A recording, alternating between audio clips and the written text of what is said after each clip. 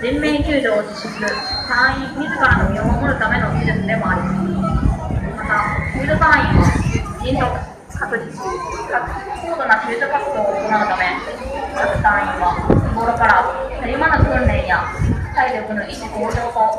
具体活動の基礎となる隊員相互のチームワークの強化を行っておりその成果は大阪のみならず緊急消防援助隊や国際消防救助隊として海外での大規模災害時においても発揮されていますそれでは山崎救助隊長から川越署長へ訓練開始報告が行われ訓練が開始されます。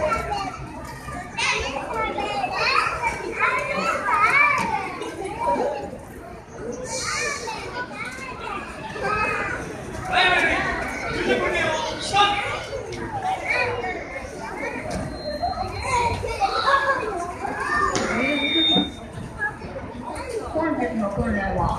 まずロープとかという水平に張られたロープを渡る。訓練をご覧いただきます。山崎隊長指揮のもと訓練を開始いたします皆様消防署側3階部分をご覧くださいまずは20メートルロープをセーラーとかという方法で上ビルまで渡ります別名水平渡りとも言われ船乗りが船から船へ渡るときに用いたことからこの名前がついています。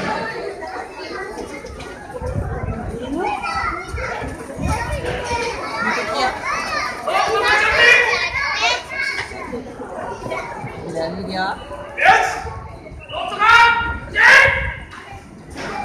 の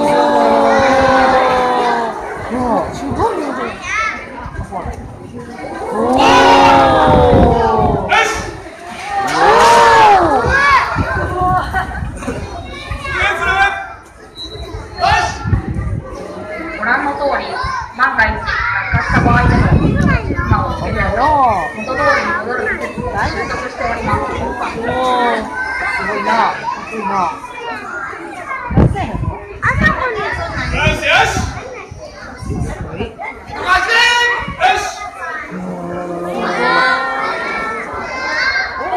おお、すごいすごい。今ご覧いただいているのはモンキーとかという技術です文字通りこの辺りは渡る時の格好が猿に似ていることからこの名前がつきました。